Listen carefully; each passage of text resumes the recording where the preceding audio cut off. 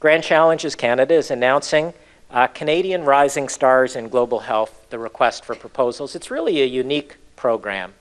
We're looking for proposals for innovative technologies that can be easily implemented in developing countries to improve health conditions. Our main goal, though, of this request is to support the development ex of exceptional emerging Canadian scientists in global health who have the potential to be world leaders in global health. The scientific and technological innovation, as I mentioned, must be integrated with social and business innovation to ensure uptake, acceptability, affordability, and scale.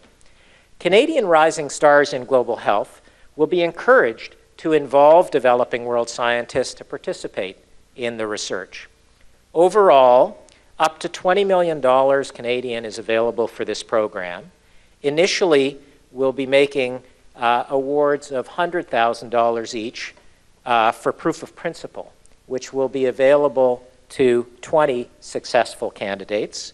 We're planning two additional rounds of these proof of principle awards, and then from amongst that pool, those scientists that do get to proof of principle and are able to demonstrate uh, that their ideas work or could work, um, there will be up to 14 $1 million awards available to them to help take the best of those solutions to scale.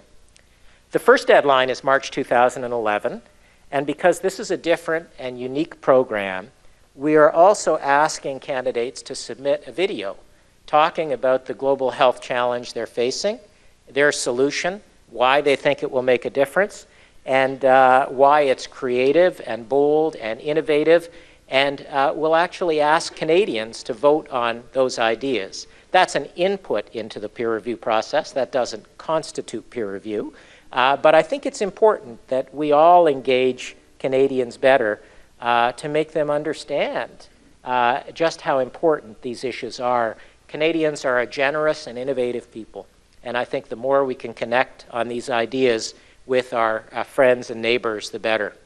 So, as important as the innovation is, it's very important to also say that this program is about the passion that scientists have to make a difference, to contribute to positive change, and their ability to energize our whole great country to the cause of combating the horrible inequities in global health. It's ambitious, but we have the talent actually in Canada to do it.